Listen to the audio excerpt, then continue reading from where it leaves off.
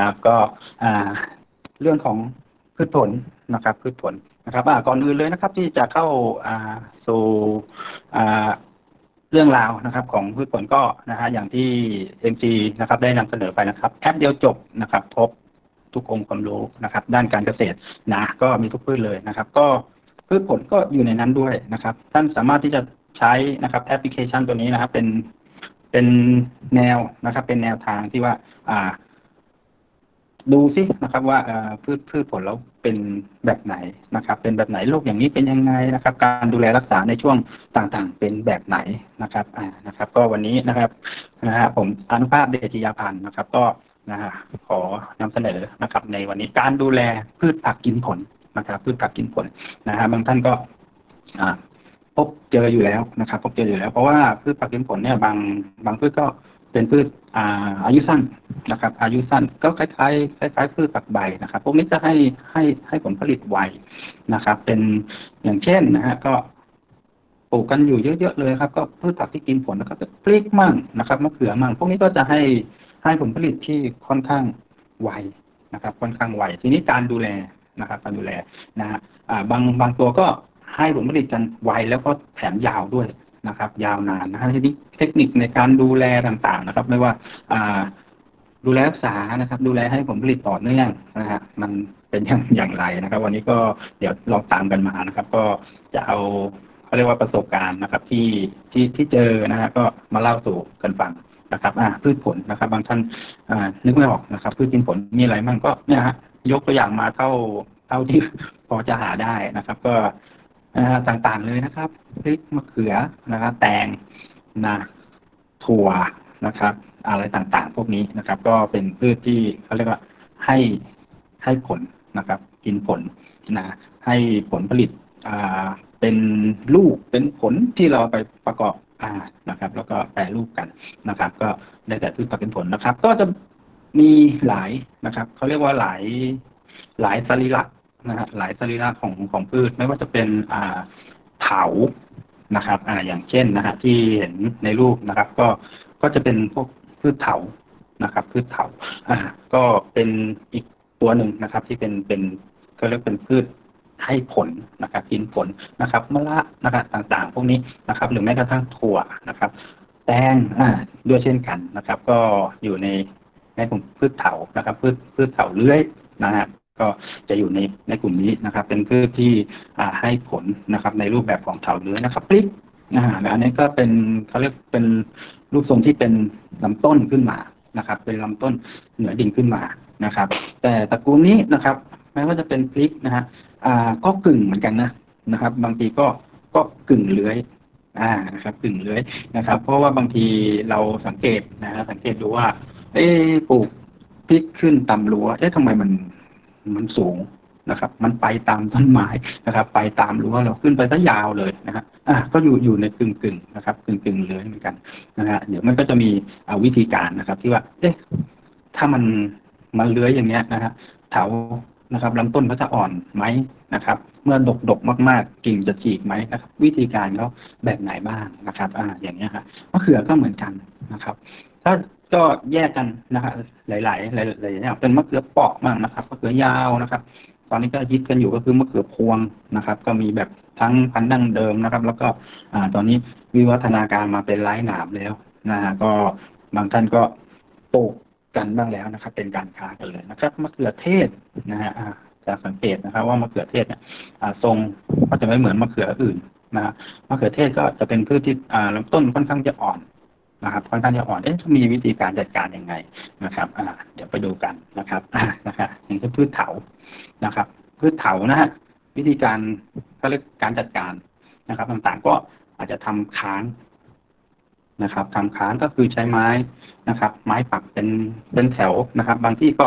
ใช้เขาเรียกว่าตะข่ายนะครับ ไม่ว่าจะเป็นตะข่ายเอ็นตะข่ายไนล่อนนะครับ ก็ สามารถที่จะใช้กันได้ หรือบางบางพืชนะครับ ก็จะใช้เชือกโยงกันเลยทีเดียวนะครับ ก็จะสังเกตเห็นได้ว่าบางทีก็เป็นพวกตะปูนแตงมั่งนะครับ ก็คือจะจับจับยอดขึ้นไปนะครับ ตามตามเชือกก็ได้นะฮะอันนี้นะครับ แล้วก็ตัวนี้นะครับ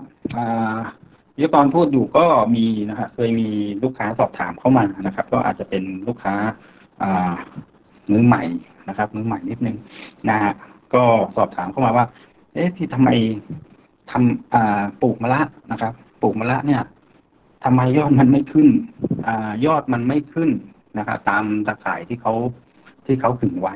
นะครับ อันนี้บอกได้เลยนะฮะว่า พืชที่เป็นเถานะครับ โดยปกติสรีระเขาเนี่ยเขาก็จะมีมืออ่าเขาเรียกว่าหนวด หนวดก็ได้เนาะบางบางท่านก็เรียกมือนะครับ มันก็จะไปเกี่ยวตามกิ่งก้านที่มันมีอยู่นะครับ อันนี้ก็ได้กระตะข่ายแล้วแต่ด้วยสรีระเขาจริง ๆ แล้วเนี่ยฮะเขาจะเดินกับพื้นนะครับ เดินกับพื้นทีนี้นะครับ การการจัดการนะฮะการจัดการก็คือเรา เราก็ต้องจับยอดเขา นะครับ จับยอดเขาขึ้นนะฮะถ้าเขาไม่ขึ้นเราต้องจับให้เขาขึ้น อ่า อันนี้ก็เป็นเป็นเกตว่าเอ๊ะทำไมแบบมือใหม่นะฮะบอกเอ๊ะเขาก็ถึงก็ดูมาอย่างดีเลยของเขาขึ้นสวยแต่ของเราทำไมไม่ขึ้นนะครับ ก็ปล่อยมันมันก็ไม่ขึ้นนะครับ ต้องต้องจับให้มันขึ้นไปนะฮะอ่า อันนี้ก็เป็นเป็นอีกข้อหนึ่งที่ว่า เอ้ยบางทีเราเราเราแนะนำไปแล้วทีนี้ อ่า บางท่านไม่เข้าใจนะครับ ไม่เข้าใจแต่ถ้ามันไม่ขึ้นล่ะมันจะกองอยู่ข้างล่างอ่าทีนี้กองอยู่ข้างล่างเนี่ย มันก็ ค่อนข้างที่ลำบากในการที่ว่าออกลูกออกดอกให้เรานะครับที่สำคัญคือเก็บกะอยู่ข้างล่างนะครับถ้าขึ้นข้างบนเราก็จะเก็บง่ายนะครับ ดูแลง่าย อ่า อันนี้เป็นส่วนของพืชเถานะครับ ไม่ว่าจะเป็นตระกูลแตงแบบนี้นะครับ ก็ต้องต้องตัดขึ้นไปนะครับ ก็จะมีหลายทรงนะครับ หลายทรงที่อ่าปลูกกันมานะครับ ไม่ว่าจะเป็นทรงตรงตรงๆแบบเมื่อกี้นะครับ ก็วางขาดขึงกันแบบตรงแบบนี้เลยนะครับ หรือเป็นแบบกระโจมอย่างนี้นะครับ ข้อดีของกระโจมก็คือเขาเขาอ่าเรียกอะไรอะ มันมันจะมีองศานะครับ ที่สามารถที่จะขึ้นง่ายจับง่ายนะครับ แล้วก็ลูกมันก็จะห้อยไม่โดนข่ายไม่โดนอะไรพวกนี้นะครับ ก็สรีระก็แตกต่างกันไปนะครับ แตกต่างกันไปก็ตามความอาถนัดของแต่ละพื้นที่ของแต่ละบุคคลนะครับก็แล้วกันนะครับ ของแต่เกษตรเกษตรกรแต่ละบุคคลนะครับ ข้อดีต่างๆก็ได้เคยพูดไปบ้างแล้วนะครับ ในใน ในพืชตระกูลนี้นะฮะว่าเอ๊ะทรงถ้าเป็นทรงกระโจมเนี่ยอ่าค่อนข้างที่จะแข็งแรงนะครับเพราะมันยึดกันอยู่สองฝั่ง ก็ต้องแข็งแรงกว่าไอ้ฝั่งเดียวแน่นอนนะครับอ่าอันนี้ก็เป็นข้อเกร็ดนะครับที่อ่าให้ท่านไปปรับนะครับ ไปปรับไปเลือกวิธีการเอานะครับ ถ้าไปปลูกตามช่องลมแรงๆนะครับ บางทีก็ต้องขึงแน่นกันหน่อยนะฮะสำหรับพืชพืชตระกูลเถานะครับ รวมไปถึงนะฮะแบบนี้นะครับท่านใดปลูกอยู่ก็อาจจะ ทราบเลย อันนี้คือฟักทองนะครับ ฟักทองก็นะมันก็ต้องปล่อยนะครับฟักทองนี่ก็ก็ต้องมีพื้นที่ในการปล่อยให้เขาเลื้อยนะครับ ฟักทองแตงโมอะไรพวกนี้นะครับไม่ว่าจะเป็นฟักแฟงเหมือนกันนะครับพวกนี้จะเลื้อยไปกับดินเห็นไหมครับเลื้อยเลื้อยไปกับดินก็เป็นพืชเถาอีกพืชนะครับบางท่านบอกเอ๊ะทำไมทำไมทำค้างให้เขาหรอครับ อ่า ฟักทองครึ่งเท้าได้ไหมครับ ขึ้นได้นะครับ แต่ลูกหนึ่งห้าหกโลนะครับ ผลละห้าหกโลค้างคงเอาไม่อยู่นะครับก็ต้องทำทำค้างกันหนักหน่วงพอสมควรนะครับก็เลยใช้วิธีการแบบปล่อยนะครับ ปล่อยให้เลื้อยไปกับพื้นแบบนี้นะครับอ่านะครับ เป็นอีกอย่างหนึ่งก็คือพืชตั้งต้นนะครับไม่ว่าจะเป็นมะเขือเป็นพริกนะครับ อย่างที่บอกนะครับพริกก็กึ่งกึ่งเลื้อยนะครับกึ่งกึ่งเลื้อยพวกนี้จะเป็นพืชนะฮะพืชที่อ่าเขาเรียกว่าต้องต่อยอดออกดอก นะครับ ต่อยอดออกดอกให้ผลผลิตต่อยอดออกดอกให้ผลผลิต เพราะฉะนั้นต้นจะสูงขึ้นเรื่อยๆนะครับ สูงขึ้นเรื่อยๆแขนงก็จะเยอะขึ้นเรื่อยๆนะฮะเพราะฉะนั้นนะครับ การจัดการก็อ่าเพื่อความสะดวกนะครับ ในการเขาเรียกว่าในการเก็บเกี่ยวนะครับ ในการเก็บเกี่ยวแล้วก็ทำให้ตรงต้นเนี่ยยังอยู่ดีนะครับ อยู่ดีก็คือเป็นต้นไทรต้นมันไม่ได้ล้มลากไปกับพื้นอะไรประมาณนี้นะครับ ก็มีวิธีการนะครับ เกษตรกรก็สามารถที่จะใช้ไม้นะครับ ไม้ปัก นะแล้วก็ขึงเชือกบ้างนะครับ ดึงเชือกบ้างนะฮะก็อันนี้ก็พบเห็นได้ทั่ว ๆ ไปเลยนะครับ เพราะว่าจะเป็นเขาเรียกเป็นวิธีการที่ว่า อ่าทำให้ผลผลิตทำให้ผลผลิตเราสามารถที่จะเก็บได้สะดวกแล้วก็ลำต้นเนี่ยอยู่ไม่ไม่หลงนะครับ ก็ใช้วิธีการ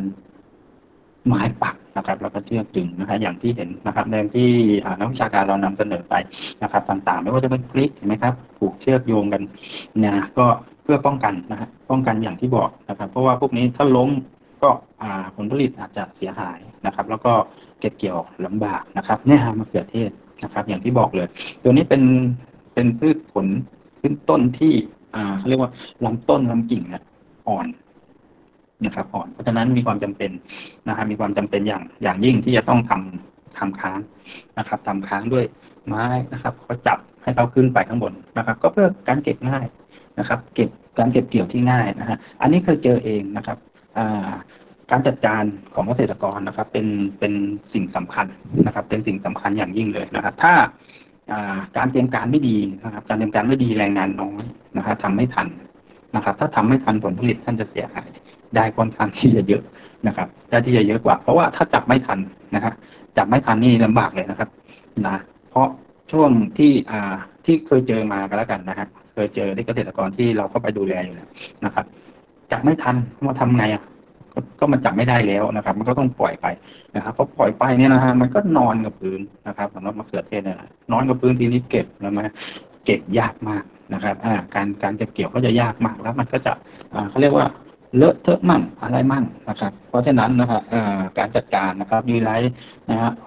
ทุกท่านนะครับที่พูดอ่า นักวิชาการเรานะครับ ที่ส่งเสริมนะครับ ที่พูดให้ให้เราฟังอยู่นะครับ ก็จะบอกในเรื่องของการจัดการเนี่ยเป็นเป็นหลักเลยนะครับ มีการวางแผนการที่ดีนะครับ ในการปลูกพืชอะไรสักอย่าง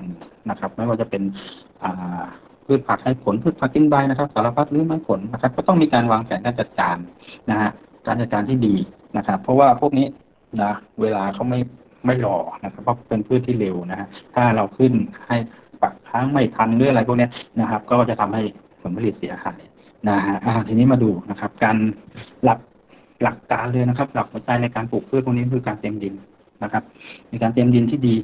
นะฮะก็จะเขาเรียกว่าทำให้พืชเจริญเติบโตได้ได้ดีนะครับ ถ้าเรามีการเตรียมดินไม่ดีนะฮะดินแน่นนะครับ หรือดินที่ไม่ได้ไถลึกนะครับ ในในดินที่มีโครงสร้างไม่ดีนะ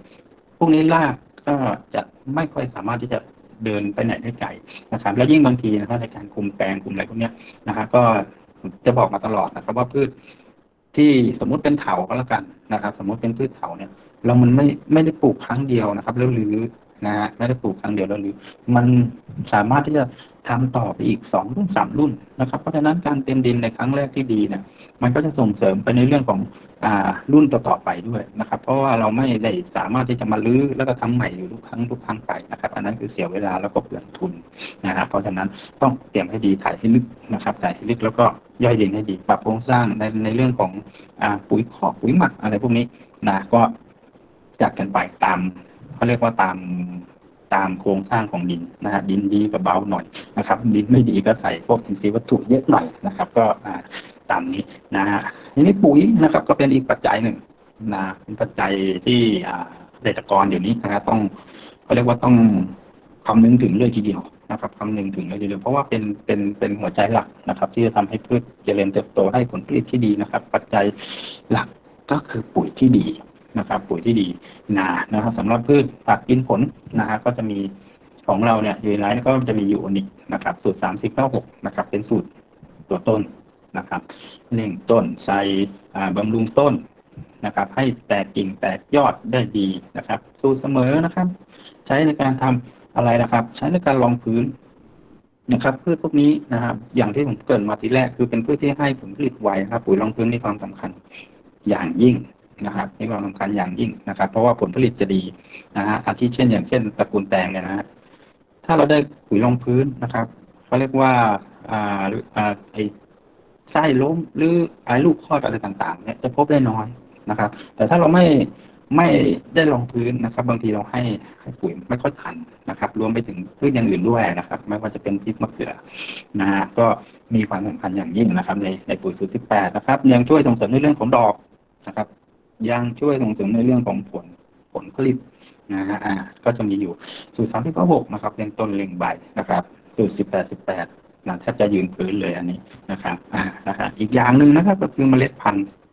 นะครับ เมล็ดพันธุ์ก็ต้องคัดสรรนะครับ คัดสรรยิ่งเดี๋ยวนี้นะครับ พืชเกือบเกือบทุกชนิดนะครับ เป็นลูกผสมเลยนะครับ เป็นลูกผสมที่ให้ผลผลิตตรงตามสรีระนะครับ ตามรูปร่างแล้วก็หนักเขานะครับ แล้วก็ให้ผลผลิตที่ดีเยอะต่อเนื่องนะเพราะทุกวันนี้เราทำเป็นการค้าอยู่แล้วนะครับสำหรับพืช พืชผักกินผลพวกนี้นะครับ ก็หรือไรก็จะมีในช่วงการจัดการต่างๆนะครับ ที่เคยพูดมาแล้วนะครับ ไม่ว่าจะเป็นทุกๆท่านนะฮะที่นำเสนอในเรื่องพืชนะครับ ก็จะมีเรื่องของเมล็ดพันธุ์นะครับ ในการแช่เมล็ดนะครับ เพื่อกระตุ้นการเจริญเติบโตนะครับ ป้องกันโรคไปในตัวเลยอ่าอย่างเงี้ยนะฮะเราก็จัดมานะครับซีวิวนะฮะเมทาเลสตินนะฮะในระยะนี้นะครับ เมล็ดงอกดีรากแตกเยอะนะครับ ด้วยซีวิวนะครับ แล้วก็ป้องกัน เขาเรียกโรคก้าเน่ายุบนะฮะหรือว่าโครงสร้างในเรื่องของรากนะครับรากเน่ามั่งยุบมั่งอะไรพวกนี้นะฮะก็จะด้วยตัวเมทาเลกตินนะครับ ถ้าใช้อย่างนี้นะครับ ใช้อย่างนี้นะครับ ชุบเขาเรียกว่าแช่เมล็ดนะครับ หรืออฉีดพ่นนะครับในระยะก้าก็สามารถที่จะใช้ได้นะครับ ด้วยซีวิวกับเมทาเลกตินนะฮะอันนี้ก็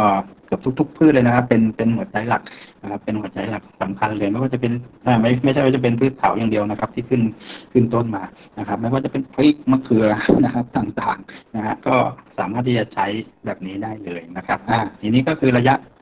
ต่อไปก็เป็นระยะการเจริญเติบโตนะครับ ดูแลอย่างไรนะครับอ่าระยะการเจริญเติบโตนะครับสำคัญอย่างยิ่งเลยนะครับ เมื่อสักครู่นะครับ ที่บอกนะก็ได้แก่ปุ๋ยนะครับ ปุ๋ยยูนิคสูตรสามสิบเก้าหกนะครับ เป็นปุ๋ยที่อ่า เป็นปุ๋ยที่ช่วยในเรื่องของการแตกกิ่งแตกก้านนะครับ แตกใบนะก็คือช่วยให้ลำต้นเจริญเติบโตดีในช่วงแรกนะฮะก็สามารถที่จะ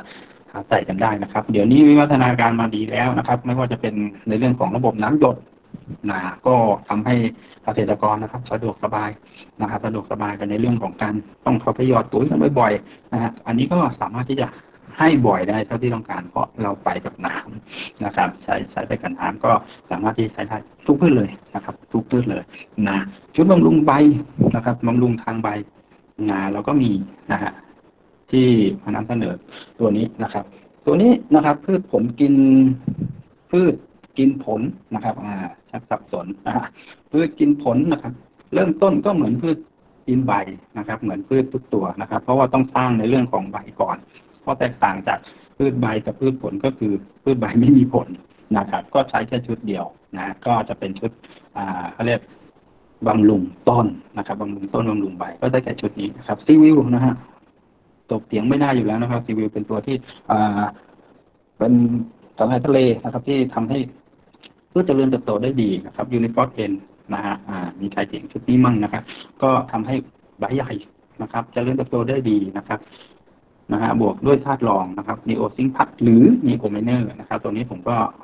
ทำหรือไว้ให้นะครับ เพราะว่าบางบางบางพืชนะครับ อันนี้สามารถสอบถามได้จากนักวิชาการนะฮะ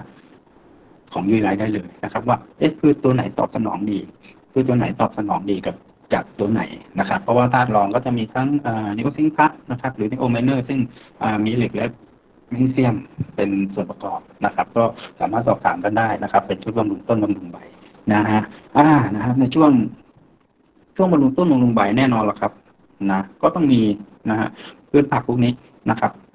อ่าก็ต้องมีตัวเขาเรียกว่าอ่า อ่าอุปสรรคนะครับ อุปสรรคใน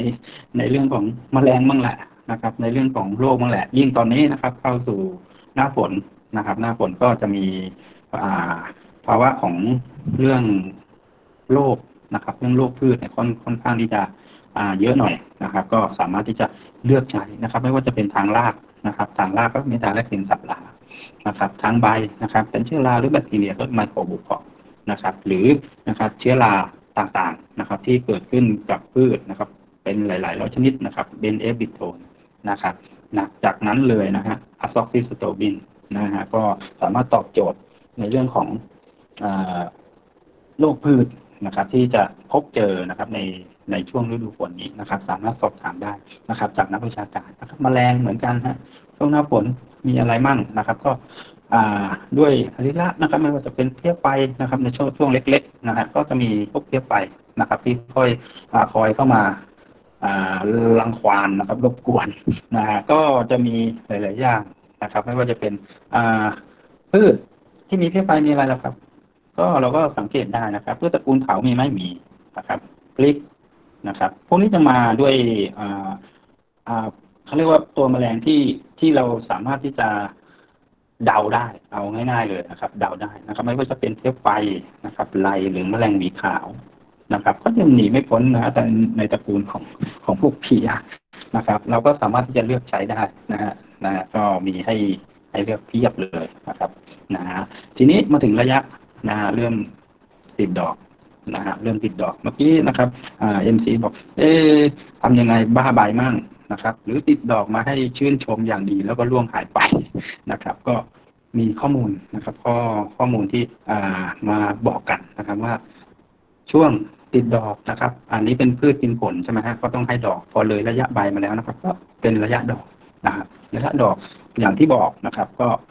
ปุ๋ยนะครับ เป็นจากหัวใจหลัก หัวใจหลักของ ของพืชนะครับ ยิ่งเดี๋ยวนี้ที่บอกไปนะครับ ก็คือเป็นลูกผสมนะครับ ตอบสนองปุ๋ยนะครับ อย่างดีนะฮะถ้าไม่ให้นี่สะดุดนะครับ ถ้าให้ไม่ถึงก็สะดุดนะฮะเพราะเขาจะาใช้ปุ๋ยในการพัฒนาเขาเนี่ยค่อนข้างที่จะรวดเร็วนะครับตอบสนองได้อย่างรวดเร็วนะครับ ก็แนะนำปุ๋ยสูตร18นะครับสูตรเสมอนะครับ สูตร18 18 18ใส่นะครับ ในช่วงหายดอกนะครับ ทั้งใบนะครับหนีไม่พ้นเลยนะครับตัวซีวิวนะครับ แล้วก็ยูนิฟอสเคอ่า อันนี้ก็จะเรียกว่าส่งเสริมการติดดอกนะครับทำให้ข้อปล้องถี่นะครับแขนงออกดีนะฮะอ่านะครับ ก็เป็นซีวิวบวกฟอสเคนะครับ ทีนี้นะฮะในเรื่องของ เอ๊ะถ้าดอกเยอะแล้วมันจะอยู่กับเราไหมนะฮะอย่างที่อ่า MC บอกนะครับ ออกดอกไม้ชื่นชมมากมายเลยแต่หายไปไหนหมดนะครับ อ่า ตัวนี้ก็แนะนำเลยครับนีโอไฮแคล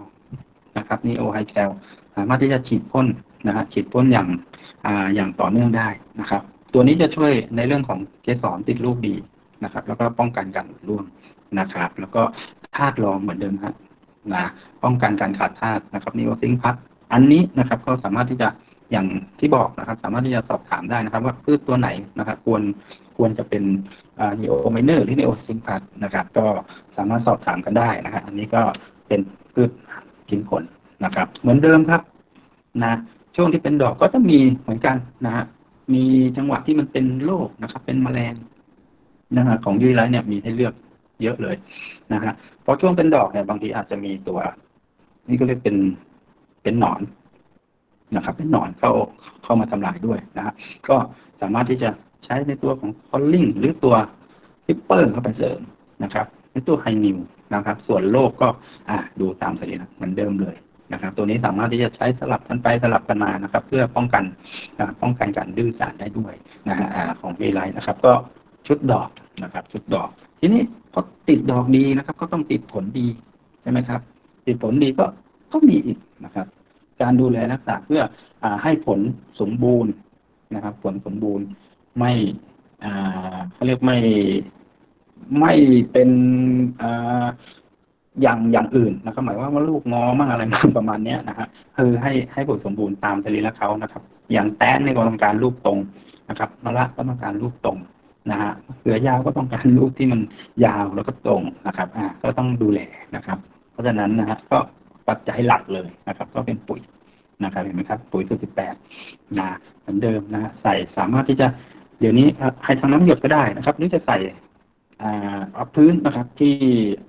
เราไม่ได้ไม่ได้มีน้ำหยดนะครับ ก็สามารถที่จะให้ได้นะครับทีนี้ระยะบำรุงนะครับบำรุงผลการเก็บเกี่ยวนะครับ อย่างที่บอกนะฮะพืชผลนะเป็นพืชที่อ่าออกยอดติดดอกติดผล ออกยอดติดดอกติดผลเรื่อยไปนะครับ เพราะฉะนั้นการบำรุงผลในช่วงของการเก็บเกี่ยวหรือหลังเก็บเกี่ยวนะครับ มันก็ต้องมีตัวที่ทำให้แตกยอดเข้าไปด้วยนะครับอยู่ เราก็จะแนะนำตัวนี้ฟอสเทนไปด้วยนะครับในช่วงช่วงให้ผลผลิต หรือช่วงเก็บผลผลิตหมาดๆนะครับ ก็สามารถที่จะส่งเสริมการแตกยอดใหม่นะครับการแตกยอดใหม่แล้วก็ให้ผลผลิตออกดอกต่อเนื่องไปได้นะครับก็ด้วยชุดซีวิวบวกยูนิฟอสเท็นบวกยูนิฟอสเคนะครับแล้วก็นีโอไฮแคลนะฮะตัวนี้นะครับ ก็ฝากนะครับฝากผู้นำแล้วก็พี่น้องเราไว้นะครับอ่านะฮะหรือนะครับบางท่านนะฮะ อาจจะที่ผ่านผ่านมาผมว่าจะไม่ไม่ได้บอกเอ๊ะยูนิแพนมันใช้ได้ไหมเห็นมีแต่ยูนิฟอสเอ็นนะครับ อันนี้สอบถามจากนักวิชาการได้เลยนะครับ ว่าบางพืชบางตัวเนี่ยก็ตอบสนองกับปุ๋ยเกล็ดอย่างดีนะครับตอบสนองกับปุ๋ยเกล็ดนะครับ ซึ่งยูนิแพนเนี่ยสีเขียวเป็นตัวเร่งต้นนะครับ สีแดงเป็นตัวเร่งดอกนะครับยูนิแพนสีเหลืองก็เร่งผลนะครับอย่างเช่นพริกเนี่ยนะฮะพริกบางทีเราสังเกตว่าเอ้ยหลาย ๆ ท่านจะใช้ยูนิแพนสีแดง นะครับเพราะตัวนี้เป็นตัวเป็นตัวกระตุ้นดอกอย่างดีนะครับเป็นตัวกระตุ้นดอกอย่างดีนะครับสำหรับในในพืชของพริกนะครับอ่าก็สอบถามนักวิชาการเรานะครับ แล้วก็อ่าตัวสุดท้ายเลยนะครับ ที่ต้องพูดถึงนะครับ ก็คือตัวคาร์โบกีนนะ แต่มันเป็นตัวแรกที่เราต้องใส่นะครับอ่ามันเป็นตัวแรกที่เราต้องใส่นะครับ ตัวนี้นะฮะคุณสมบัติเด่นในการปรับน้ำกระด้างทำให้อ่าสารเคมีเราออกฤทธิ์เต็มประสิทธิภาพนะครับเต็มประสิทธิภาพไม่ ด้อยลงนะครับไม่ด้อยลงด้วยการทำลายของน้ำนะครับ น้ำกระด้างนะครับ ก็สามารถที่ใช้คาร์โบกีนนะครับสามสิบถึงห้าสิบซีต่อน้ำยี่สิบลิตรนะครับ ใส่ก่อนนะครับนะฮะใส่ในน้ำก่อนนะฮะจะได้ผลเต็มที่นะฮะด้วยตัวคาร์โบกีนนะฮะเนี่ยฮะนะผลผลิตก็นะฮะเป็นเครื่องพิสูจน์ อันนี้เป็นพริกหอมนะครับพริกหอมเมืองการนะฮะแต่สังเกตว่านะฮะเขาจะปลูกอ่าค่อนข้างที่จะ ค่อนข้างที่จะถี่นะครับไกว้กันไปไกว้กันมา อันนี้ก็เลยไม่ต้องเขาเรียกว่าไม่ต้องใช้ไม้ปักนะครับไม่ต้องใช้ไม้ปักมันจะค้ำกันเองนะแต่ถ้าเปรียบกับอ่าพริกอ่าเขาเรียกพริกฮอตนะฮะก็ต้องใช้ไม้ปักนะครับเพราะระยะก็จะห่างๆหน่อยแล้วต้นก็จะใหญ่นะครับเม็ดจะเยอะนะฮะก็สามารถจะอาจจะฉีกขาดได้นะครับ อันนี้นะฮะอะเนี่ยผลผลิตนะครับ ก็ยาวๆแบบนี้นะฮะที่